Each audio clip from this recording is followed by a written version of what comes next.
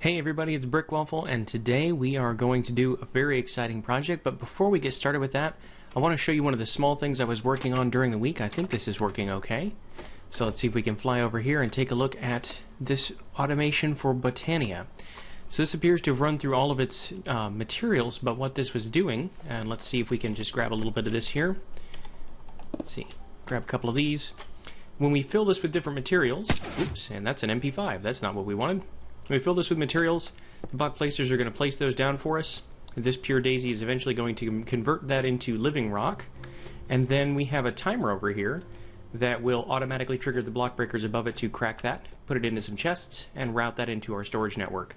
So this is an easy way for me to fill up all the wood I want on one side, all the stone I want on the other, and churn through, get a whole bunch of living rock and living wood. And right out here, this little savanna is what we're going to use for our new project. So one thing that's probably not obvious from looking at this is that this has actually all been ender quarried from right about down that corner to all the way back and about that corner. So everything under here is just dirt. The reason I did that is because this is where we're going to build the expansion of our base. So from this chalet, which is what we're now going to call the mountain house, thanks to my wife for that name, this chalet is going to remain here. This is going to be our nice little house where I come and I spend the night when I need to sleep and make it daytime and I just want to enjoy the view back there. But all these little devices we've put in, like the alveary, the portal to the deep dark, our little um, arrangement here for making soul shards, the mob farms, all the automation in the basement, that's all going to go into little buildings down here in New Brick Town. So what I wanted to do was be able to use this just for purely aesthetic terrain and not have to worry about running into veins of coal or other things when I'm when I'm working. It's just going to be dirt. That means we can use our excavator if we're digging out a base. It's going to be very effective. Uh, you can see I started clearing this area. I will probably make a sickle from Project Red to clear out some more of this, because quite honestly, that's just too much stuff on the grass. And we do have a little water spring here, so we'll probably put in a well of some kind, since that makes some sense. And then the only other thing that we had here, and this is an interesting side effect from the Ender Quarry, because that replaces all of its blocks with dirt, there used to be a witch's ring around here, and it replaced all of the witch's ring and turned that into dirt as well. So I left a little bit of this. I thought we might use this same layout for something else. Maybe we'll put a little uh, Botania garden in here or something like that, use that same space. But otherwise, you can see the weirdest thing that happened with this, besides the sheep in the tree, is that half of this ravine was turned into dirt. And you can see there's enough light here for the grass to spread, and that is very, very bizarre. Let's turn on our night vision helm. And you can see that all the way through here is just dirt, a dirt ravine. And then this is where it stopped in this room. Hello, skeleton. Goodbye, skeleton. And it's just something you don't see very often. I thought this was kind of unusual. So I'm going to keep this here for now. Um, and we will probably end up coming down here and coring out, especially for ME. There's a lot of Certus quartz over here. That's kind of nice. Looks like some malachite. I thought I thought it was just so bizarre when that happened. I knew it would happen, um, and then same thing with this cave. You can see it just goes down in here. It's all big dirt hole with more skeletons. Goodbye. Um, I think that has potential. And we also have this volcano that we've had since the beginning. We haven't done anything with basalt yet. We'll probably do that soon. And we'll probably make a proper dock for the airship as well. So this is obviously going to be a huge project. I'm not going to get all of that done in one video for sure. I have started turning off some of the machines, like our rubber tree farm. We have plenty of rubber right now. Uh, you can tell from the fact that all this cotton is sitting here, fully grown and not harvested, that we haven't done anything with that yet either. This is the one that concerns me a little bit. This is a full mana pool, and I'm not sure if I can break that and keep all the mana in it, but it's okay because we're going to, before we leave, produce a lot more of these and set up a bigger Botania garden. That'll be another project. So obviously I have a list of a lot of things that I'd like to accomplish, and the good news is because we are already wearing, oh yes, our ridiculous fancy armor. We now have the Flux armor, you can probably tell from the UI down there. With the Skyrim helm and our gold wings, I think I look hysterical. We do have our riot gear, so I have an MP5 and a shield. We also have a pair of soul stealing enders that are fully charged for killing endermen and getting pearls.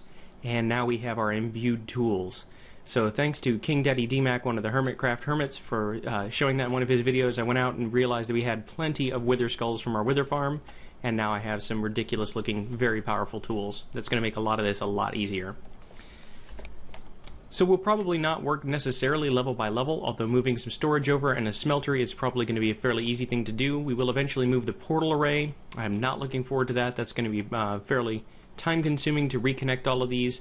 Although for everyone else on the server that's connected to me, it won't have any effect as long as we use the same code, so that will be pretty nice. And I'm thinking about putting in a second one of these, just a portal from somewhere down there right into the chalet. I might do that up in the bedroom, or I might look at Mekanism portals. I haven't really decided yet. And down here we have our QED, our Tinker's Forge.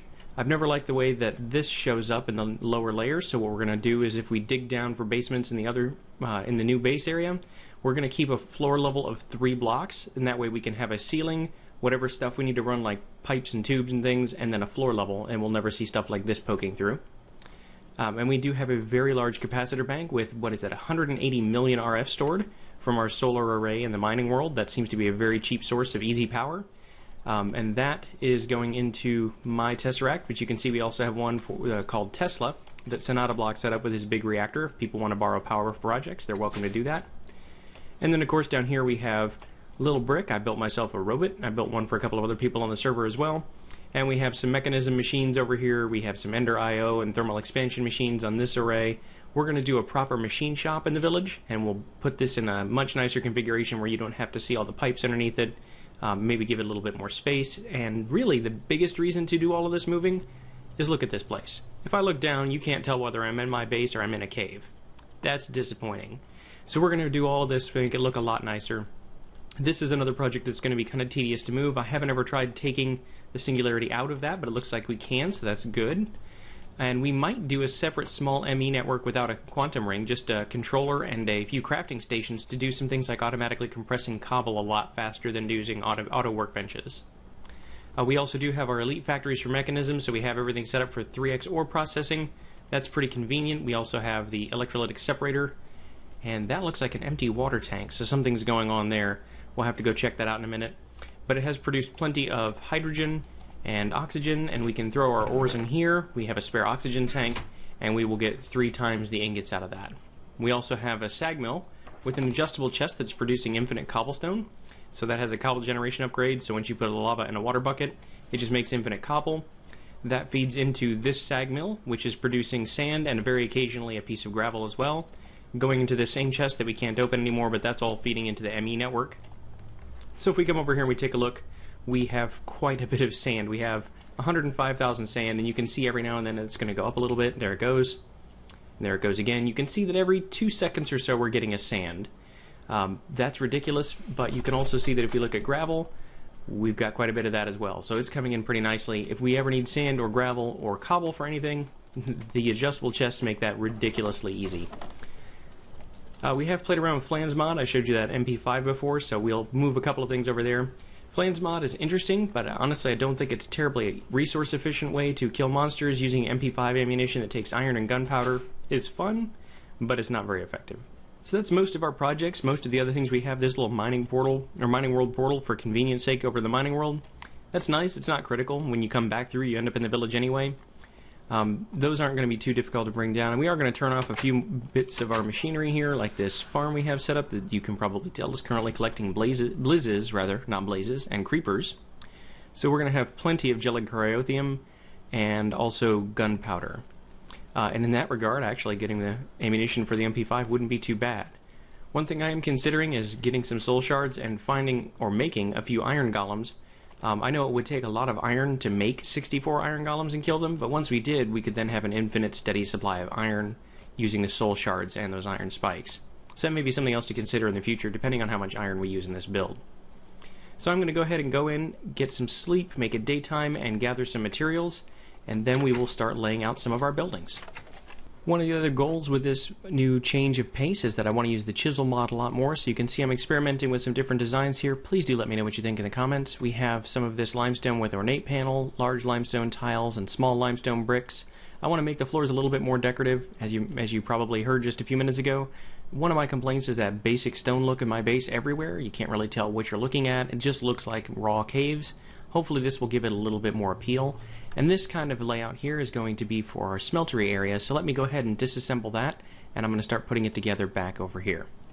So over here what we're going to do is we're going to put down our smeltery base, and I'm trying to decide, I think I want to bury the floor of it in here, and I think I'm going to put it in one corner of this. Um, so we're going to need the edges that are going to be the walls, that means this spot right here, and let's carve this out. That would be our 3x3 area, and that's what I'm talking about with the dirt. So that gives us room to have the smeltery over here. We can expand it out a little bit, but that's definitely going to fit. And then we're going to expand this platform maybe this direction.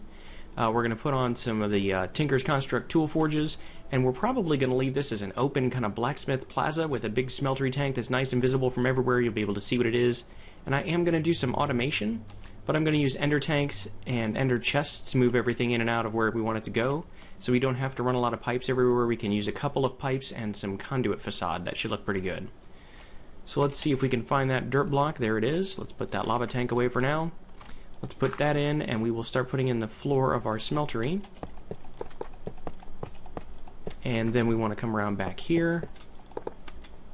And I know we're going to take a few of these out here in a second, but that's going to give us, whoops, that's going to give us the shape that we're going to use for the smeltery.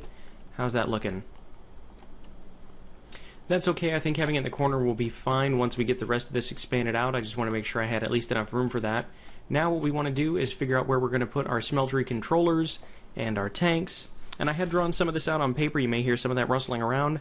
I think what we're going to do is we're going to put our smeltery controller there. And then underneath that in the, in the floor, we're going to put our input chest with a pipe that goes into it. Then we're going to have some glass in the front here. We're going to have our faucet right there. We're going to have another faucet here. And that's okay that I took this one out because that's also going to be glass. And then I think this is going to be the smeltery tank. So let's see if we can get that put in. So where's the smeltery controller? I said was going to go right here, but let's not do that just yet. We're going to need to go get some ender conduit. We'll do that one very last. Uh, some seared glass. We're going to have one there, and I believe one there. We're going to have our smeltery drains here and here, although those may go up a level here in a minute, and then our seared tank that way. So as far as collecting the items in this, we can leave the faucets here and put the casting tables in the ground, or I think what might be better is to raise this whole thing up by one and put these faucets where it's a little bit higher and you can put the tanks underneath. We can still put uh, collection conduits and whatnot underneath them, but that's going to make it a little bit easier if that's kind of at, at uh, head level to change things out. I don't think we want people walking right where liquid hot metal is coming out of there. Uh, and of course, yes, as soon as I said that, I, ha- I heard the Dr. Evil voice as well. Sorry about that. That was not my intention. Uh, let's see. Put a seared brick there and there, and we're going to put the drains there and there. And the reason we're doing this in the corner like this is we're going to put our redstone clock, uh, wherever that is. We're going to see if we, this will work for one of these to control both of those. Now, I think it has to power the faucet, but we'll see if this powers the block which powers the faucet, or if this design doesn't work. Uh, we're going to have to build a little bit more of the machine before we can see if this is a good idea or not. Worst case, we might be able to move that to the ground and run some redstone wire, red alloy wire up there to power it. And we'll obviously want to put something under here, but I think what we'll probably do if we get this working is put one of the ore conversion dictionary tables under there. That should look pretty nice. But this way we can put our casting tables there. We'll be able to automate underneath that and have everything go into a chest that will bury and we will control all of that with conduit facade. Actually, that might be something else we could do. We could just put our ender chest right under here and have our pipes running visibly into that. That might look okay, actually. So we're going to keep our seared glass here and here, but now that I've done that, that looks kind of strange to have the seared glass with the limestone brick underneath it. So we are going to come back and take that block out, and let's take that guy out. And how much more? We got plenty of that left right now because we haven't gone up very high. We'll do that. That's going to look a lot better, and we'll be able to see the level of the molten liquids in here pretty easily. So the next thing we want to do is get a chest, which we don't have on us, and we want to get some item conduit, but we can hook up the lava tank. So let's see, that's going to need to go back off of this. And then can we get him under here? Perfect. We can do that. Let's not use the imbued pick for that one. That's going to give us an infinite source of lava from the nether for that. Yeah, I'm thinking this is going to look out. This is going to look pretty good. So the rest of this, once we get it done, we'll get the smeltery controller, some pipe, and we'll get a conduit facade. Then all we have to do is raise the thing all the way up as high as we want it to go. So I'll be right back when I have some of those materials. Okay, we are on our way back, and let's go ahead and try the smeltery before we bother decorating everything. Make sure this all works the way we expect it to. Throw some copper in there. What happened to that? Oh, because we're dumb. Yeah, so if you actually have something extracting out of your smeltery controller, that's bad news. Um, that's not what that's supposed to do. This is supposed to be the input chest, and the extraction chest needs to be over here. So what I did was I just took all the copper I brought over and threw it right back on the network. So we're not going to need that guy, and we're not going to need that one. But we are going to need to put the ender chest over here and set these to connect to him. So that should pull in from both of these without taking out unsmelted ore. Uh, now we're going to need another chest that's going to connect into this one. Uh, let's see, we don't need an ender chest for that, we just need a regular chest. And that's going to need to be set to input and do we have any more ore on us? We do not. So that's embarrassing, but I'll be back in just a moment. Okay, we've got some chests, we've got some copper ore. This should be a lot better. Let's plop this guy down here. And this needs to be set to extract to put into there, always active. Now if we put the copper ore in this chest, it goes into our smeltery. That's excellent. Now it's cooking up. We're going to use some fuel here. We'll give that a second. Let's go ahead and put some of this dirt back. This is the high degree of confidence I have in this build that I'm going to go ahead and put all this back the way it's supposed to look. That is a surefire recipe for me forgetting something. But we're going to pretend like that's not the case. We're going to put all this in, give ourselves something to do for a minute while we're waiting on that to cook up. And let's see. That goes there, that goes there state on. I think that's going to power the redstone clock off, actually, because it's on by default. So if that all works, I don't like how that's not quite lined up with this one. We might actually move that one over one more, but we'll see in a minute. This does let us walk up here, dump everything in this chest and walk away if we've got a bunch of ore, let it smelt, and then it goes into the network. Now eventually we could replace this with an ME terminal with an export bus and a bunch of filters on it, or a bunch of export buses with filters on it to extract ores directly. But honestly, with the Mekanism 3 times ore reprocessing, we're not going to do this with ores very often. Mostly we're going to be using this to melt ingots to make tools specifically, or we're going to use it for things that we just can't either can't or don't want to run through Mekanism, and let's not jump in there. That would be very embarrassing. Uh, what we can do is break this glass when this is done here in a minute, because I do have some more of that on me. I've got 12 more, which means this can go up by 5 on either side. And I think that's all the taller we want to make it. We might not even need it to be that tall, to be honest, since this is not, as I said, producing our primary source of ingots. Really, it's going to be for tools, uh, which again may mean this clock is irrelevant. We don't need that at all if we're only using this to make a few tool parts here and there. And there we go. We have some molten copper, 16 ingots worth. So, moment of truth, and nothing happens. Okay, so, oh, now it's working again. Interesting, but only one of them is. Did I just power that? I did. I powered that one faucet with a lever. Okay, so that redstone clock doesn't have any effect. We are going to have to think about a different way to do this. But as I said, since this is mostly going to be for parts, that's going to be our solution for the time being. And since we don't really need copper tools, we're going to queue through the, the uh, what is that, 12 left in here. Oops. That's not what I wanted. 12 ingots left. Good. My math skills are improving. Let's go ahead and do that. So we just need to do this six more times. Once that goes through, and that looks like it's all going into the network. It's going into this chest. We can see that here in a second when those cool. They'll briefly show up in there, and they get extracted out to the network very quickly. So that's pretty easy. Let's go ahead and take this block out. And then we're going to want to take this one out as well. And good, we didn't lose any into the molten metal. We're going to bring those up. Let's go ahead and clear this out just because I don't want to fall in there with a seared tank full of molten liquid metal and die. That would be unfortunate because I believe that's just like lava. It will actually destroy your gear as well. Although that's not true with the Death Ender chest. So maybe I don't have anything to worry about other than just being embarrassed. And uh, if there's one thing I've learned from doing this on YouTube, you're going to get embarrassed many, many times. So you kind of get over that early on. Alright. So let's. I keep forgetting I can fly in this server, which makes it pretty nice. That is going to be a ridiculously tall smeltery. Uh, honestly, for something that's just for tools, that's really too much. I don't. I think I'm to bring this down by three. Ooh, maybe I did by three. That looks like a good height. So let's go there. This imbued pickaxe is so good it's broken. I really, really enjoy that. Uh, let's put this on here. One, two. It is getting to be nighttime again. Some zombies are coming out to help with the construction. Uh, maybe he wants to put some blood in the Tinker's smeltery. Uh, yeah, I think that's looking pretty good. So we can leave this out here. And that should work just fine. One thing we could do is put more glass in over here and here. So we would have that one, two, three, one, two, three, four. And of course I have six on me, so I can't quite do eight that way. Or we could take these two out and leave those as seared bricks in the bottom. Ooh, that went right through. You know what? I have an imbued sword. What am I waiting on? And there's a spirit as well. Hey. Okay. Good. Looks like he's not going to bother us anymore. Let's see if this is actually deadly or not. Oh, even better. I don't have to touch it. And let's see. Take that guy out and put that one there.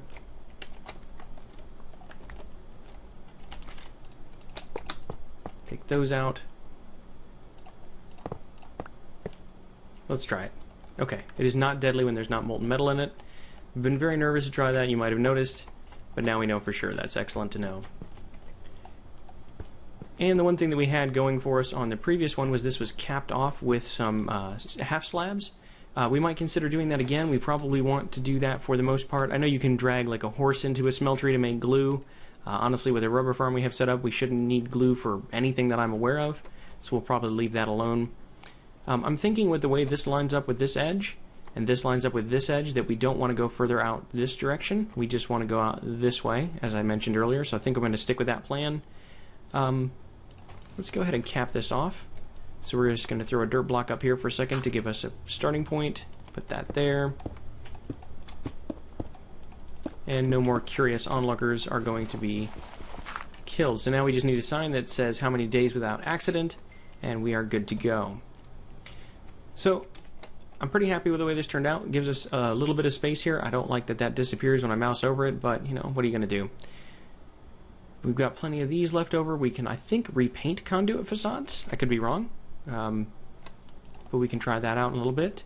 Let's go ahead and Move those out of our inventory. Oh, we were going to put some speed upgrades on here, but I don't know that we need to because actually we don't really need this chest at all.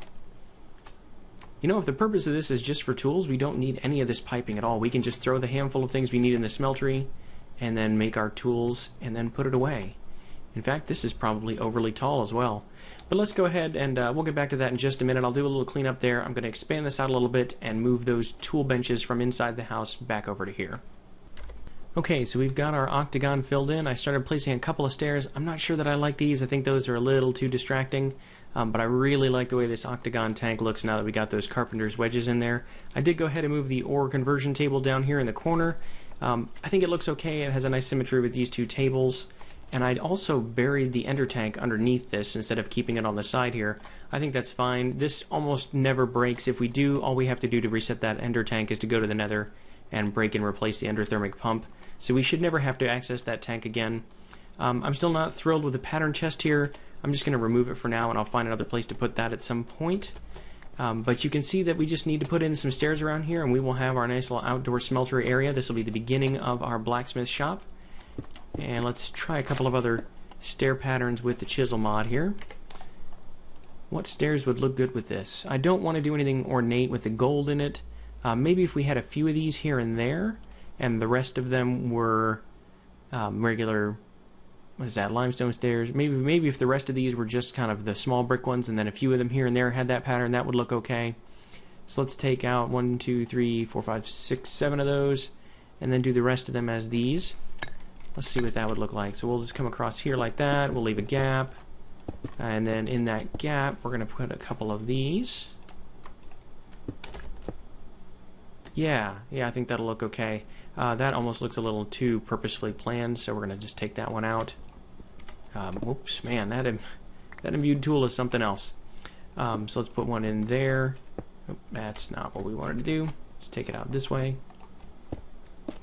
And we just want to have it look like some of these got worn off because we've had a lot of use up and down. So to this crafting table, over to this area, um, maybe to the back side over here probably one on this side, and that's probably good. We don't want it to look too overdone. We just want it to show where there's been some wear and tear over the years, making this look older than it is. I think that's really what we're going for. So we're just going to come along this way. Okay, and have I mentioned how much easier it is building in survival when you can fly? That is outstanding. So I really like the look of this. I think this is going to be a good foundation. Uh, we are going to do a little bit more terraforming over here. And I don't think I'm going to bother with the sickle until we're pretty happy with the way that most of this village is laid out. And we want to clear some greenways, uh, some areas for us to have in between. Although maybe some of this stuff right around here could go away. The other thing we're going to have to consider is when we get some more buildings in here, what does the road look like? But man, that's looking pretty happy right now. I'm, I'm really, really pleased with that. One thing I wish you could do is have carpenter's wedge half slabs so I could put this all the way out to the top and have a nice smooth cap. Um, I can't do that, unfortunately. That's not the end of the world.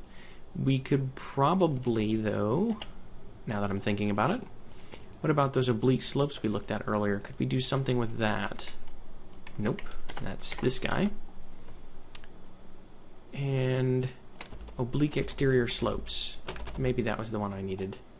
That is exactly what I wanted. So we can do these guys. Oop, not that one. This guy needs to go away. And then we can just do some uh, regular seared bricks at the top and cap that off. So you can imagine what this is going to look like, but we got four right now. Let's go ahead and put those on. So then the question becomes, do we use half slabs here and leave these kind of dangerous looking points, or do we sear brick here and leave that cap? I think we're going to put sear bricks on the top and make this pretty uniform. Um, but let me go get some more seared bricks. I think I might actually have to cook some up, cook some grout, and get back to you here in just a minute. Okay, and we are done. I put in some oblique slopes so that it all kind of connects together. I'm not super thrilled with the way this turned out. I might actually end up putting this in with a wedge slope and beveling it all around. Um, but for now, I think that's going to do it. That looks like everything I wanted to get accomplished in this episode. So thank you guys for being patient and watching me derp around a little bit, making some kind of beginner mistakes on a few of those things. I haven't played a lot with Chisel, believe it or not, so that's a, a, fun thing for me to try out. If you guys have other suggestions, I would love to hear what else you'd like to see me build in town.